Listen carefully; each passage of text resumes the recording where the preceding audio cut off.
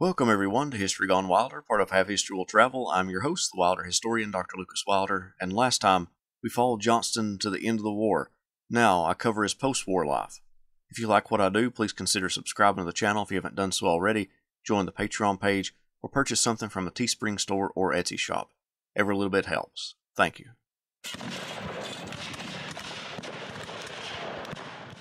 In the first few months after Johnston surrendered his forces to William T. Sherman at Bennett Place, Johnston stayed in the Greensboro area and looked for a job. He had been a soldier for around 35 years, and that was pretty much the only life he knew. His wife reached out to friends and family, attempting to secure her husband some kind of job to, as she put it, keep the kettle boiling. However, Lydia's health was failing. Johnston said that her health waned with the weather, and he grew ever more concerned about her health, knowing that he needed some kind of employment if he wanted to make sure she was taken care of. For a short time, he worked for the National Express and Transportation Company, then spent a year and a half working for the Alabama and Tennessee River Railroad Company, later named the Selma, Rome, and Dalton Railroad. He found the job boring, and both him and Lydia were incredibly unhappy while he was president of the railroad. He finally found permanent employment in insurance, working as an agent for the London based Liverpool and London and Globe Insurance Company. After visiting the Home Office in England, Johnston returned to the United States, set up his home office and the branch of the company named Joseph E. Johnston and Company, where he oversaw the parent company's Southern Department. His company was profitable, presiding over 120 agents in Georgia, Alabama, and Mississippi. He and Lydia, for her health, spent summers in Warm Springs, Virginia, hoping to reap the benefits of the mineral springs there. Now that Johnston found permanent employment as an insurance agent, he had time to work on his memoirs, in an attempt to defend his wartime record. He wrote to Corps and division commanders, except Hood, asking them to send him papers, or even better, write reminiscences of the war. When those men didn't satisfy his questions, he prodded them to reconsider sections that didn't align with his way of viewing the war, particularly the Atlanta campaign. Hood wasn't Johnston's only target. Johnston wanted Jefferson Davis to take a large portion, if not all, of the blame for the defeat of the Confederacy. But there was a problem. Davis's imprisonment at Fort Monroe for about two years created a martyr to the Confederate cause, and people began to look at the former president differently than they had during the war. Wade Hampton, Johnston's cavalry commander in North Carolina at the tail end of the war, wrote to Johnston asking for a letter of recommendation to the Viceroy of Egypt to hopefully be named an officer in that army, like other Confederates did. Hampton knew that Johnston was attacking Davis publicly, but thought that hurt the unity of the South in the post war years. He wrote to Johnston, I feel sure no good can come in any way by any publication by you raising an issue on the point. Any controversy between Mr. Davis and yourself would jar upon the feelings of thousands who are friendly to both of you and would tend to throw discredit on our cause. Do not allow yourself to be drawn into any personal altercation. Johnston's book was published in 1874 entitled Narrative of Military Operations Directed During the Late War Between the States. Through his dry narrative of his Civil War career, Johnston attacked Davis on multiple topics, including Davis ranking Robert E. Lee, Samuel Cooper, and Albert Sidney Johnston higher than himself within the Confederate military. Unfortunately for Johnston, others saw the attack as petty, especially since Lee had become such a beloved figure in the minds of Southerners. His section on Vicksburg was particularly confusing because he insisted that Theophilus Holmes in Arkansas possessed 55,000 men and if he and Pemberton had just linked up, then they could have defeated Ulysses S. Grant outright. Holmes, from most estimates, numbered his army at around 10,000, but Johnston never would accept that Holmes didn't have a larger force. Included in the book was a line by line rebuttal to the message Davis wrote but never submitted to the Confederate Congress, outlining his problems with putting Johnston in command of the Army of Tennessee at the end of the war. The book sold poorly, and the publisher lost money, and Johnston alienated many people by blaming them. One of Johnston's biographers wrote about the publication that by 1874 many of the southern states had been redeemed, returned to home rule. What Southerners wanted to remember about the war was their devotion and sacrifice, not their mistakes, whoever made them. They wanted to believe that their soldiers had been heroic, their generals cunning and bold, their government supportive and determined. The principal theme of the Southern literature on the war was that the South had been overwhelmed by superior numbers. Most were perfectly willing to believe that all their leaders had been heroes. The book's poor reception was a disappointment to Johnston. Years later, when a prospective biographer wrote to ask him to bless his project, the old general warned him that the public was not interested and prophesied that the publication would be a dead loss. Not only did Johnston attack Davis, he attacked Hood to a great degree, but by the time Johnston's book came out, Hood's Tennessee campaign was universally understood as a complete failure. Johnston's attacks didn't lower Hood's standing, but Hood also wrote his own book called Advance and Retreat. In it, Hood believed Johnston had ruined the Army of Tennessee before he ever took command of it, by retreating and losing more soldiers than he actually reported in the Atlanta campaign. Unfortunately for Johnston, Hood died in 1879, the same year Hood's book came out. In death, Hood had eluded facing Johnston's rebuttal. In 1877, Davis's book, The Rise and Fall of the Confederate Government, was published, but try as he might, Johnston couldn't really find any attack on himself. Davis focused most of his attention on the legality of secession and politics rather than the military. Davis had defeated Johnston again, this time by not engaging with the general. On a train ride from Savannah, Georgia to Richmond, Virginia, Johnston had a deep and lengthy conversation with Frank A. Burr that continued once they got to the city. Burr was a reporter for the Philadelphia Press, and he asked Johnston questions about the end of the war. One of the questions was what happened to the Confederate gold reserves. Johnston claimed that only $179,000 worth was accounted for out of the 2 million that was in the reserves. Johnston also stated that Davis never did give a satisfactory answer to where it went. Burr ran the story on December 18, 1881, with the headline, Confederate Gold Missing.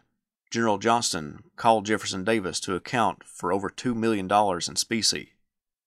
Davis was angered by the accusation, and it only made people feel sorry for Johnston, who they saw as more pathetic in his assertions.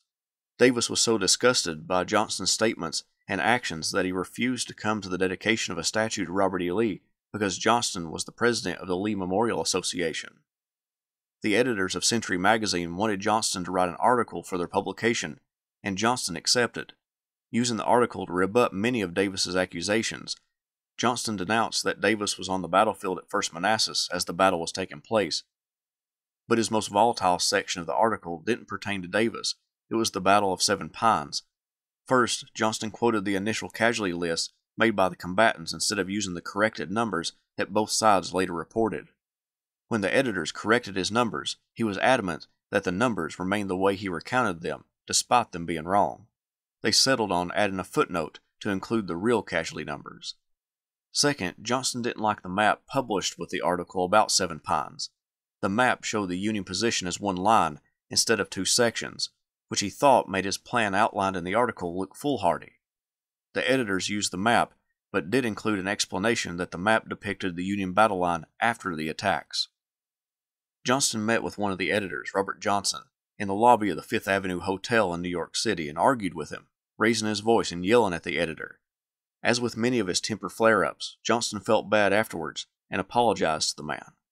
One of Johnston's biographers explained that Johnston's behavior contrasted markedly with that of his old classmate Robert E. Lee, who adopted a dignified silence about all questions concerning the war. Lee wrote no memoir and even refused interviews on the subject. Because Lee accepted full public responsibility for all his actions, the public concluded that he was not responsible at all, and his quiet stoicism elevated him to Southern sainthood after his death in 1870. By contrast, Johnston's continued insistence that he was not at fault led many to assume he was probably guilty. In the years after the war, Joe Johnston became the father figure of the family, even though he wasn't the oldest living brother of the family. His older brother Peter was stricken with ill health and poverty. When Joe's nephew, John W. Johnston, informed his uncle that Peter was sick and alone in the house at Abingdon, Joe hired a man to stay with Peter and help him. Joe also secured Peter a job under a local attorney but Joe paid his brother's salary unbeknownst to Peter, because Peter wouldn't take charity. When his brother Beverly died, Joe and the rest of the family agreed to sell the estate in Abingdon. He put Peter up in a hotel and rented the room for him. When a family member wanted to name their son Joe after him, the old general asked for an act of kindness and not name a child Joe because it is a name unbecoming of a gentleman and something he himself had suffered with throughout his life. Johnston began to show great interest in politics.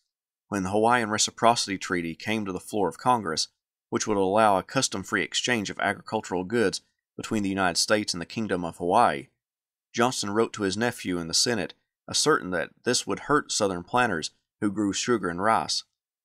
His nephew voted against the treaty, but it passed anyway. In the election of 1876, the volatile election garnered Johnston's attention also. When Tilden resigned himself to defeat at the hands of Rutherford B. Hayes, the Republican candidate, Johnston thought Tilden should have fought harder to be president. He wrote, If he had the heart of a dunghill hen, he would have claimed the presidency and been inaugurated. It is as certain as any matter of opinion that if he had been resolute, he would have been backed by the whole Democrat party, against which Grant would not have attempted to use his little military force. The winter of 1876 to 77 saw Johnston and Lydia move to Richmond, Virginia. In 1878, the local Democratic committee approached him to run for the U.S. Congress. Johnston said he would if he didn't have to campaign, that he wanted it to be presented to him by the will of the people, and his acceptance would be his duty. They assured him that he wouldn't have to canvass, but this was false, and Johnston didn't like having to sell himself to all classes of people. He felt that his name and reputation should speak for itself. His biggest opponents were greenbackers, who promised a cheap money policy. Johnston believed this was a false promise and saw the election as good versus evil. Johnston blamed what he called the carpetbagger government, which forced the planting class to borrow heavily against their crops, sending them into debt. In this way, the greenbackers appealed to not only the formerly wealthy, but also the poor. Johnston campaigned hard to discredit the greenbackers, insisting that cheap money to the people would also be cheap money to the creditors. But as November drew near, he feared that he hadn't been able to convince the public. Johnston did win the election and became congressman.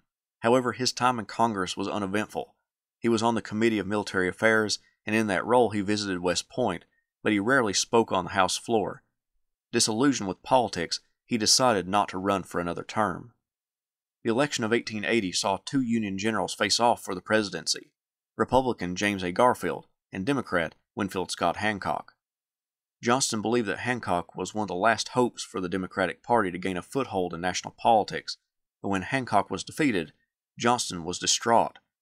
When Democrat Grover Cleveland won the presidency in 1884, Johnston's name was on the list for being Secretary of War, but Cleveland's advisers thought better, thinking that the nation wouldn't accept the former rebel in that position. So Cleveland named Johnston the U.S. Railroad Commissioner. It would be his job to inspect the rail lines across the United States. Every summer he would crisscross the nation to write his report on the status of the railroads.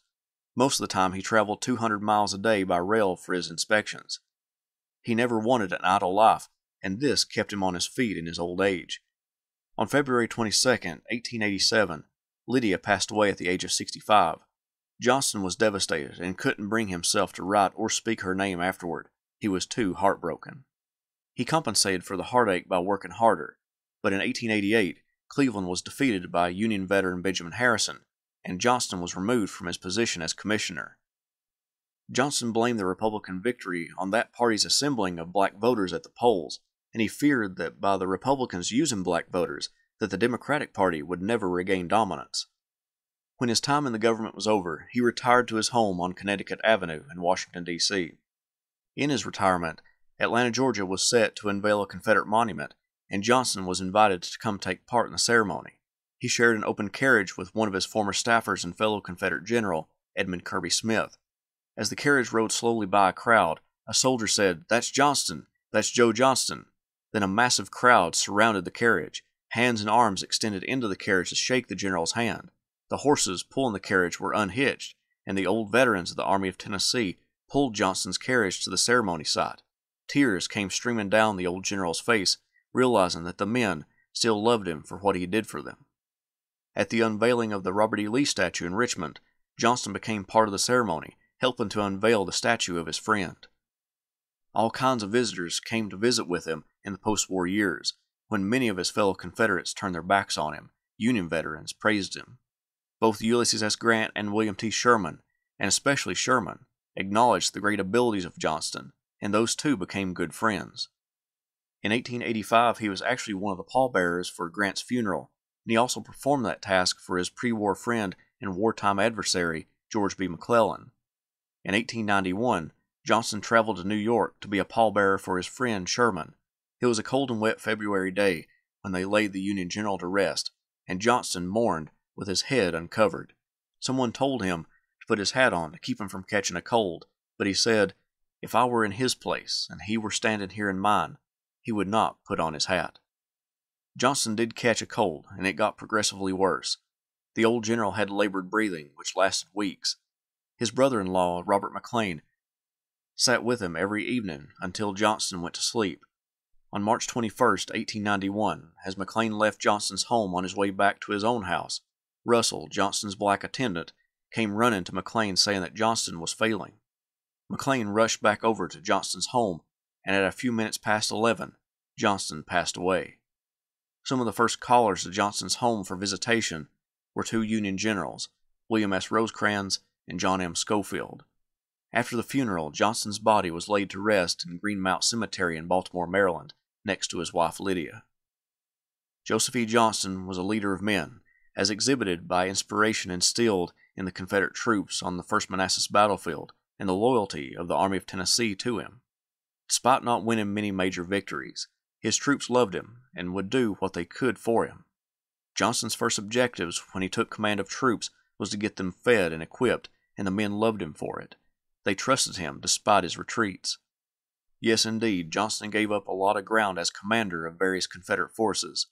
His lack of aggression is legendary, and his search for perfection of a situation or plan hindered his fighting ability. His temper got the better of him on many occasions with subordinates and superiors, particularly Davis. If he felt slighted, Johnston never could forget the attack, and most famously went on the attack verbally and through the written word to regain his honor. Johnston's contemporaries and historians have and still debate the merits and failures of Johnston's withdrawals across the southern landscape. To a certain degree, the retreats were understandable, but how far could one retreat, waiting on the right opportunity to strike? For some, it seemed like he would never strike. Part of it was his opponent in the Atlanta campaign, William T. Sherman. Sherman didn't want to launch headlong assaults against an entrenched enemy and resolved to flank Johnston, avoiding battle. Nevertheless, he did delay the Union general. Although there was blame to go around to all parties, President Davis, Braxton Bragg, Judah Benjamin, and John Bell Hood made life difficult for Johnston. Sometimes he brought it on himself, and other times he didn't. But he never could let a grudge die, and he spent many of his post war years trying to reclaim his name, a name that was beloved by the men who served under him. Sam Watkins of Company H of the 1st Tennessee Infantry said it best Such a man was Joseph E. Johnston, and such his record. Farewell, old fellow. We privates loved you because you made us love ourselves.